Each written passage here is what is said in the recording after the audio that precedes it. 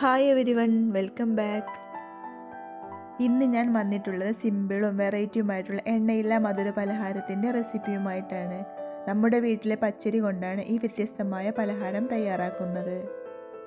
അപ്പോൾ നിങ്ങൾ ഒരിക്കലെങ്കിലും ഈ ഒരു റെസിപ്പി തയ്യാറാക്കി നോക്കണം. അതിനായി ഇവിടെ ഒരു പാൻ എടുത്തിട്ടുണ്ട്. അതിലേക്ക് ഒരു കപ്പ് ചീകിയ ശർക്കര ചേർത്ത് കൊടുക്കാം. ശർക്കര മെൽറ്റാക്കി എടുക്കാൻ വേണ്ടി ഒന്നര കപ്പ് വെള്ളം കൂടി ഒഴിച്ചു കൊടുക്കാം. ഈ ഒരു പലഹാരം തയ്യാറാക്കാൻ എടുക്കുമ്പോൾ ശർക്കര നല്ല കളറുള്ള ശർക്കര നോക്കി എടുക്കാൻ ശ്രദ്ധിക്കണം. എനിക്കിവിടെ കളറ് കുറഞ്ഞ ശർക്കരയാണ് കിട്ടിയിട്ടുള്ളത്. എന്നിട്ട് ഒന്ന് മിക്സ് ചെയ്ത് കൊടുക്കാം. അതിനുശേഷം ശർക്കര നന്നായിട്ടൊന്ന് മെൽറ്റാക്കി എടുക്കാം. ഇപ്പോൾ നമ്മുടെ ശർക്കരപ്പാനി ഇവിടെ തയ്യാറായിട്ടുണ്ട്. ഇനി ഇത് നമുക്ക് ചൂടാറാനായി മാറ്റിവെക്കാം. ഇനി വേണ്ടത് മിക്സിയുടെ ജാറിലേക്ക് ഒരു കപ്പ് ചിരവിയ തേങ്ങ ഇട്ട് കൊടുക്കാം. തേങ്ങാപ്പാൽ വെച്ചാണ് നമ്മൾ ഈ മധുര പലഹാരം തയ്യാറാക്കാൻ പോകുന്നത്. ഇനി ഇതിലേക്ക് അര കപ്പ് വെള്ളം ഒഴിച്ചു കൊടുത്ത് നമുക്ക് തേങ്ങ ഒന്ന് അരച്ചെടുക്കാം. എന്നിട്ട് ഒരു ബൗളിലേക്ക് ഒരു അരിപ്പ വെച്ചു കൊടുക്കാം. അരിപ്പയിലേക്ക് അരച്ചെടുത്ത തേങ്ങ ഒഴിച്ചു കൊടുക്കാം. ഇനി കൈകൊണ്ട് നന്നായി പിഴിഞ്ഞ് തേങ്ങയുടെ ഒന്നാം പാൽ എടുക്കുകയാണ് വേണ്ടത്.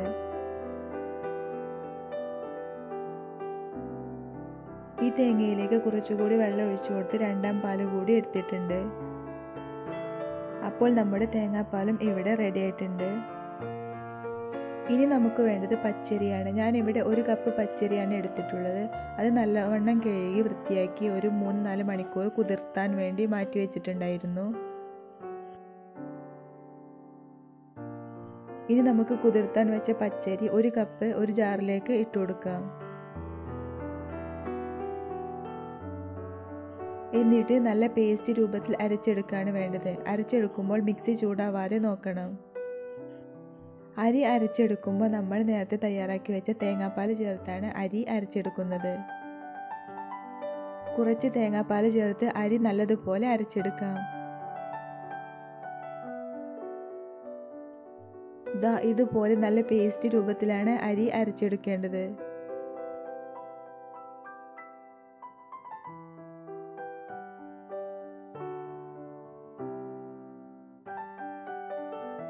ഇനി നമ്മൾ ഈ അരച്ചെടുത്ത മാവ് ഡയറക്റ്റായി ഒരു പാനിലേക്ക് ഒഴിച്ചു കൊടുക്കുകയാണ് വേണ്ടത്. എന്നിട്ട് നമ്മൾ നേരത്തെ തയ്യാറാക്കി വെച്ച ശർക്കര പാനി അരിച്ച് ഇതിലേക്ക് ഒഴിച്ചു കൊടുക്കാം.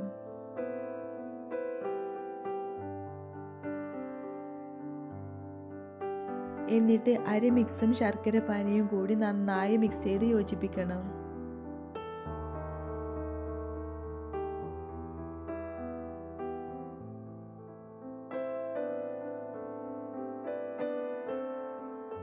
നന്നായി മിക്സ് ചെയ്ത് കൊടുത്തതിന് ശേഷം നമുക്കിതിലേക്ക് ചെറുതാക്കി മുറിച്ച് വെച്ച തേങ്ങാക്കൊത്ത് കൂടി ചേർത്ത് കൊടുക്കാം.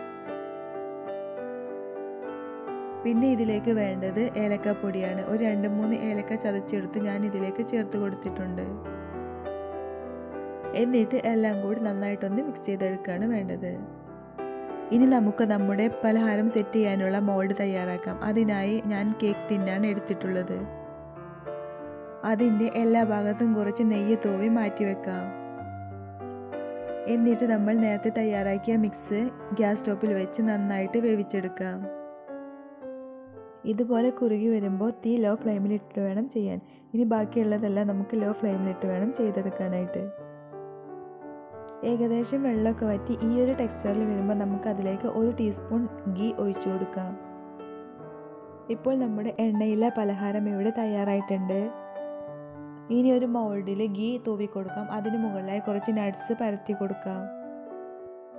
അതിനായി ഞാൻ ഇവിടെ ക്യാഷും കിസ്മിസുമാണ് എടുത്തിട്ടുള്ളത്. അത് ഇതുപോലെ ചെയ്തെടുത്തിട്ടുണ്ട്.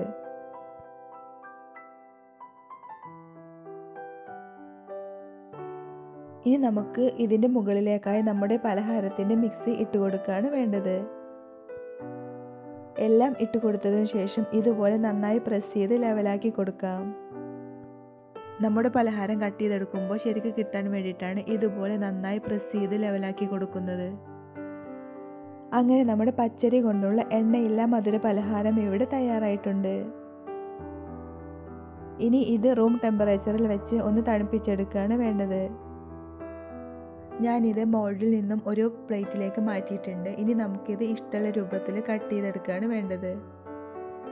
അത്രയും നല്ല സോഫ്റ്റും ടേസ്റ്റിയുമാണ് ഈ ഒരു പലഹാരം. പിന്നെ നല്ല ഹെൽത്തിയുമായിട്ടുള്ള ഒരു പലഹാരമാണിത്. തീർച്ചയായും എല്ലാവർക്കും ഇഷ്ടപ്പെടുന്ന വ്യത്യസ്തമായ രീതിയിലുള്ള ഒരു പലഹാരമാണിത്. പച്ചരിയും ശർക്കരയും ഉണ്ടെങ്കിൽ വളരെ ഈസിയായി പെട്ടെന്ന് തന്നെ തയ്യാറാക്കാൻ പറ്റുന്ന നല്ലൊരു റെസിപ്പിയാണിത്. അപ്പോൾ എല്ലാവരും ഈ ഒരു റെസിപ്പി തീർച്ചയായും ട്രൈ ചെയ്ത് നോക്കണം.